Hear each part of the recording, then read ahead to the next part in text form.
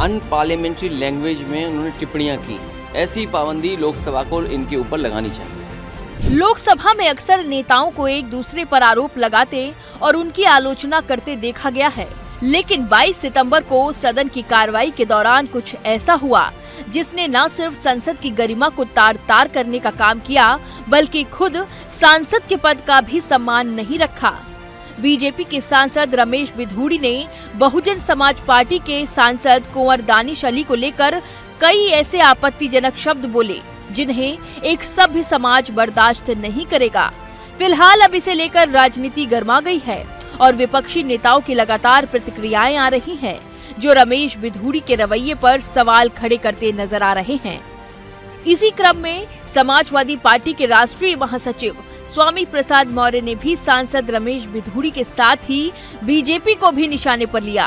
कुंवर दानिश अली को लेकर कहे गए रमेश बिधूड़ी के अपमानजनक बोल पर स्वामी प्रसाद मौर्य भड़क गए और उन्होंने इसे लेकर सीधे सीधे बीजेपी को निशाने पर लिया। स्वामी प्रसाद मौर्य ने अपने ऑफिशियल एक्स अकाउंट से एक पोस्ट करते हुए सदन की कार्यवाही का वीडियो शेयर किया। जिसमें बीजेपी के एमपी रमेश बिधूड़ी, बसपा के सांसद कुंवर दानिश अली को अपशब्द कहते हुए नज़र आ रहे हैं। इसके साथ ही स्वामी प्रसाद मौर्य ने पोस्ट करते हुए लिखा, ये देखो, बीजेपी सांसद का असली चेहरा और संस्कार, ये सांसद है या गवार? इसके अलावा कई विपक्षी नेताओं ने बीजेपी एमपी रमेश बिधूड़ी के व्यवहार की आलोचना की है। सपा प्रमुख अखिलेश यादव ने कहा है कि ये एक आपराधिक घटना से कम नहीं है। साथ ही उन्होंने मांग भी की है कि ऐसे लोग जिनकी ज़ुबान इतनी खराब है उन पर पूरी उम्र के लिए पाबंदी लगे ताकि वो चुनाव नहीं लड़ सके। दानिश अली जो सांसद हैं वो केवल बहुजन समाज पार्टी के सांसद नहीं है। ये बात मत भूलें आप। समाजवादी पार्टी और बहुजन समाज पार्टी का जब गठबंधन था उस समय के वो चुने हुए सांसद हैं।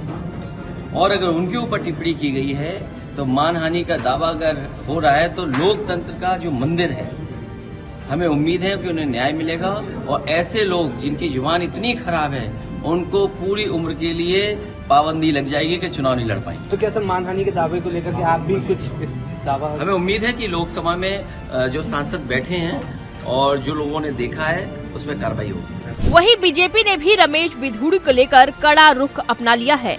सूत्रों से मिली जानकारी के अनुसार बसपा सांसद दानिश अली के खिलाफ अपशब्दों का इस्तेमाल करने को लेकर पार्टी के राष्ट्रीय अध्यक्ष जेपी नड्डा के निर्देश पर सांसद रमेश बिधूड़ी को कारण बताओ नोटिस जारी कर जवाब मांगा गया है।